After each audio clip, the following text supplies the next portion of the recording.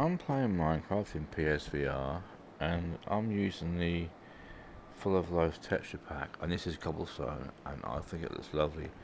But anyway, this is glass panes in, in PSVR and normally in um, Minecraft VR, the glass panes you just sort of assume they're just like just one really thin, right?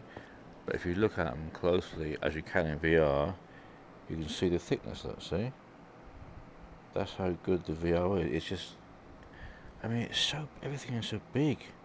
I mean, the blocks they're like about they're about fucking four feet across. I mean, it's so cool. Tell you, if it weren't for the VR, I wouldn't play it this much. But it's just so cool.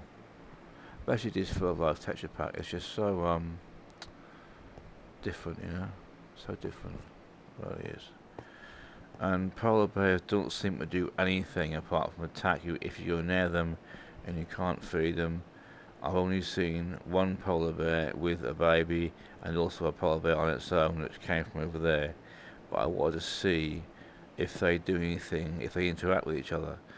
I mean, now she's now I'm in my house, so she's not seen me, so she isn't attacking me. So a lot of times she saw me, I ran in my house, and she she, she, she wouldn't go away. She just just ran the house. She did, wouldn't, wouldn't like wouldn't go away. Even at night time, she was still there.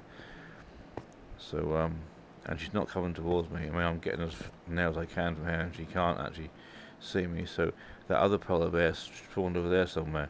So I'm hoping he's going to spawn soon, and maybe they'll make more polar bears or something because they don't do anything else. Okay. I'm just gonna watch then. Actually, I might turn it off because the chairs make me ache.